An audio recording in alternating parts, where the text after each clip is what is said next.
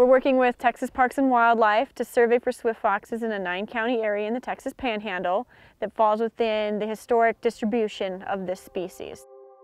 This species, from what we can tell from historic records, was almost gone. About 50% of their historic distribution now no longer has swift foxes. We think that the first and foremost thing that led to these major population declines were historic predator control programs where they were poisoning kind of indiscriminately for wolves mostly and really just anything. And unfortunately those baits, they're not specific and we ended up with a lot fewer foxes that way.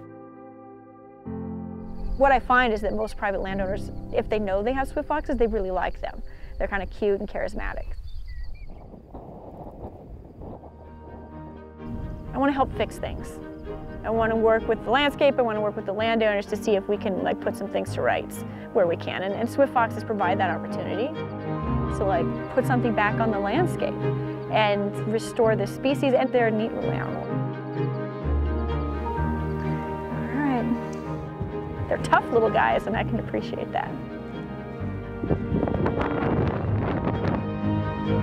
That's the best part turn them loose, and they always put on a nice little show.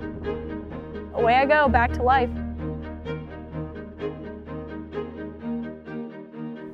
Atta girl. Good luck, honey.